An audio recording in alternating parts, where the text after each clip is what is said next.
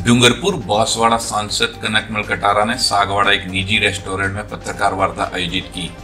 पत्रकार वार्ता में पत्रकारों ने कटारा से आने वाले नगर पालिका चुनाव में सागवाड़ा अध्यक्ष पद को लेकर सवाल किया। पत्रकारों ने कटारा से पूछा कि केके गुप्ता के सागवाड़ा से चुनाव लड़ने की बात सोशल मीडिया पर वायरल हो रही है, जिस पर कटारा ने कहा कि सागवाड़ा भाजपा के पास काबिल उम्मीदवार हैं।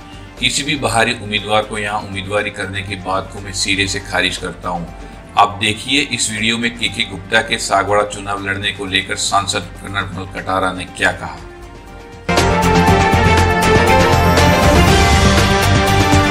सोशल मीडिया पे गुप्ता जी के चेयरमैन सागवाड़ा से लड़ने की खबरें आ रही थी तो इससे आप क्या सहमत देखिए उम्मीदवारी कुछ भी करे जब सागवाड़ा का चुनाव है तो सागवाड़ा के यहाँ बहुत पुराने पुराने और बहुत अपने त्याग तपस्या करके यहाँ पर कार्यकर्ता अपने पार्टी के अंदर जूझ रहा है।